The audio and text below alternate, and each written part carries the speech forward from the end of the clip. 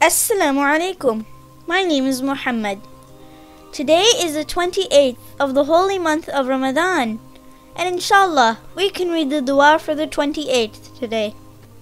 Let us begin. بسم الله الرحمن الرحيم اللهم صل على محمد وآل محمد اللهم وفر حظ فيه من النوافل وأكرمني فيه بإحضار المسائل وقرب فيه وسيلتي إليك من بين الوسائل يا من لا يشغله الإلحاح الملحين.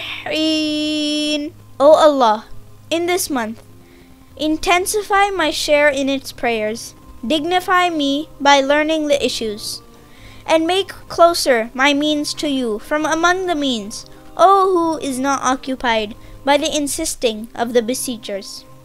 This is a very easy dua. I encourage all of you to read. Inshallah, I'll see you tomorrow, where we can learn so much more. Khudafis!